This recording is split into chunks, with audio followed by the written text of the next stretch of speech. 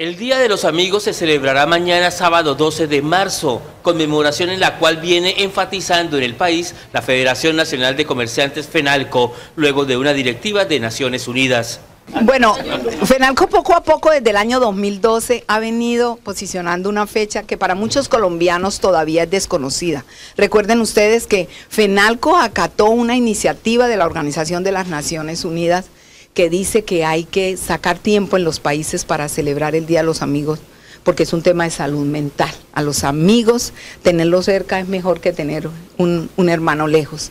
Entonces hay que saltar ese sentimiento de la amistad. Y lo que persigue FENALCO es, primero, ir poco a poco posicionando la fecha, darle herramientas a los establecimientos de comercio para que puedan desarrollar una verdadera promoción y mercadeo y aumentar las fechas en este día. Según una investigación ordenada por FENALCO, los amigos cercanos en promedio son cuatro, hacia quienes ofrecemos sentimientos casi familiares.